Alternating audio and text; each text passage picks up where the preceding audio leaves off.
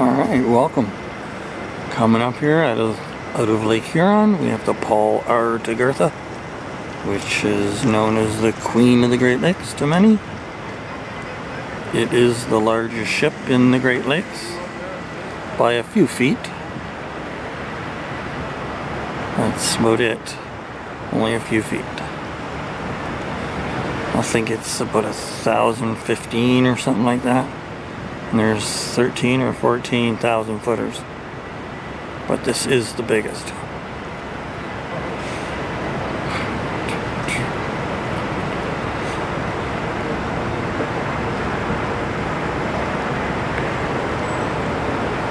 Hmm, little weird movement there.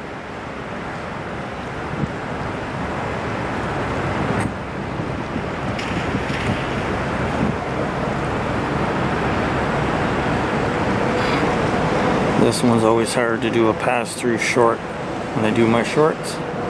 I'll let it go through the screen, but this one here usually takes longer than the 59 second max. So I generally got to speed it up a tad.